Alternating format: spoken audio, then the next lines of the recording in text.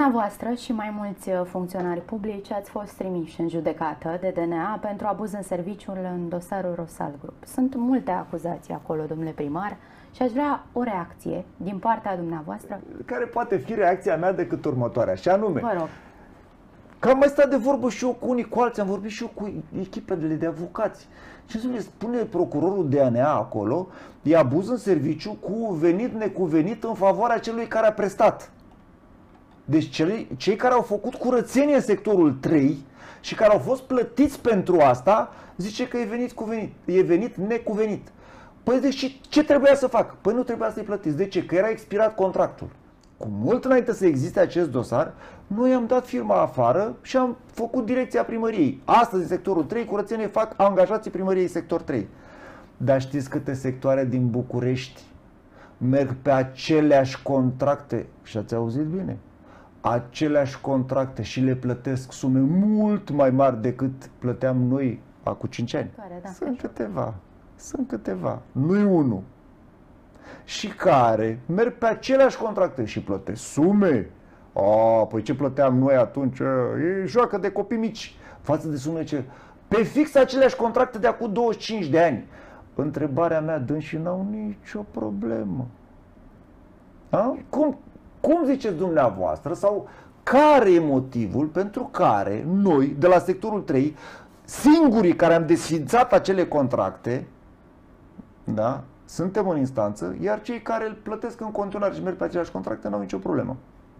Erori în justiție au existat și vor exista câtă vreme există viață pe planeta asta. Sunt și interese în justiție, le știe toată lumea. Ar putea să le facă mai, mai, cum să spun eu, eu știu, mai elegant, ar putea să o facă mai credibil. Sunt fix aceleași contracte, cum copy-paste. Da, spun. Eu nu am o problemă cu primarii. Eu am o problemă cu zeița dreptății, care e legată la ochi și are balanță. Eu cu asta am o problemă. Bă, poate că am greșit. Bă, dar am făcut aceeași greșeală. E la fel cum trecem pe trecerea de pietoni șapte inși identic și tu n-ai nicio problemă, iei unul și zici, bă, tu, taman ăla care a Deci, trecut pe stai, galben. deci- Hai dacă tot m-ați, m-ați provocat. Vă rog. Se pare că în zona asta de salubritate sunt multe interese de servicii și că am supărat rău că le-am desfințat contractul. Servicii de ochi albaștri. Și că e supărare Se mare crede. că le-am desfințat uh, contractul. Și de aceea, după ce le-am desfințat contractul, atenție, le-am desfințat contractul, după ce le-am desfințat contractul, s-au gândit ei că s-ar putea să fie ceva în regulă acolo și că hai să răzbune pe neguiți. Vă temeți că vă veți încheia mandatul uh, înainte de termen? Nu. Nu. Deci nu, nu vă am temeți de temerea aceste asta. Nu. acuzații. Nu, chiar nu. A, de acuzațiile astea le consider penibile. Nu există nicio... Nu că nu există probe, nu că nu există suspiciune că aș fi luat un leu. Sau că, nu știu, mi-a făcut mie curățenie în curte. N-am curte, dar să presupunem că aș fi avut și îmi făcea dădea cu mătura la mine în curte. Nu, nu să că mi-au spălat mașina sau ceva.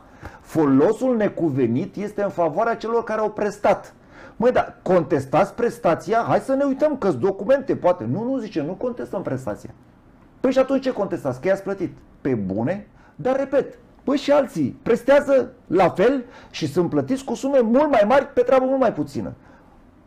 Nu e aceeași lege? Adică ce e în sectorul 3? Funcționează alte legi decât în alte sectoare? Probabil că dâns și nu au avut soluție. Noi ne-am creat altă soluție. Noi ne-am făcut serviciu de salubritate. Repet, cu mult înainte să existe acest dosar.